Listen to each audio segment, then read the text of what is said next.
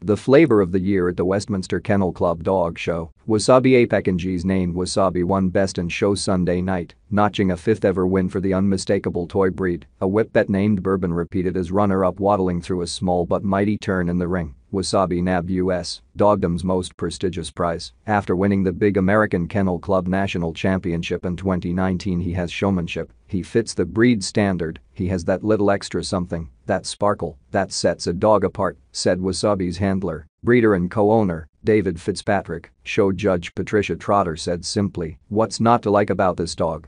He stood there, as though he was a lion Fitzpatrick, of East Berlin, Pennsylvania, guided the Peke's grandfather Malachy to the Westminster title in 2012. Still, he said, I just don't always think lightning is going to strike twice. How will Wasabi celebrate? He can have a filet mignon, and I'll have champagne, Fitzpatrick said with a laugh. The three-year-old Pekingese, meanwhile, was pretty nonchalant about the whole thing. His handler fuss was all about, as Fitzpatrick spoke before a cluster of reporters and cameras. It was a poignant win that came after one of his co-owners, archaeologist Iris Love, died last year of COVID-19. Besides Fitzpatrick, the dog is also co-owned by Sandra Middlebrooks and Peggy Steinman Wasabi. The name derives from his mother, Sushi, came out on top of a finalist pack that also included Matthew the French Bulldog, Connor the Old English Sheepdog, Jade the German Short-Haired Pointer, Striker the Samoyed, and a West Highland White Terrier named Boy. Altogether, 2,500 champion dogs entered the show it underwent big changes this year because of the coronavirus pandemic, moving out of New York City for the first time since the show's 1877 founding. This year's show was held outdoors at an estate in suburban Tarrytown, about 25 miles north of where the top ribbon is usually presented at Madison Square Garden, and it happened in June instead of February in a sign of the pandemic times. Some handlers wore masks, though vaccinated people were allowed to go with it, said Striker went into the show as the top-ranked U.S. dog, with more than 40 best-in-show wins since January 2020, and Bourbon had also won the AKC National Championship the show